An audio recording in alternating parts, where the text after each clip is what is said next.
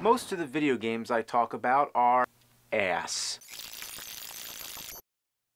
Remember back when I first warned you about the horrors of Tiger games?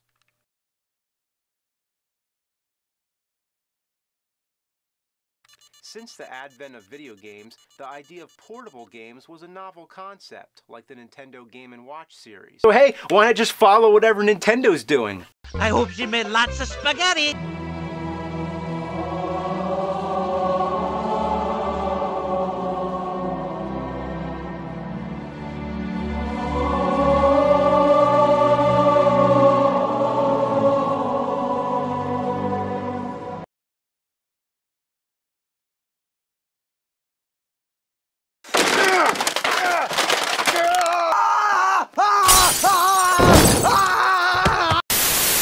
The angriest gay nerd.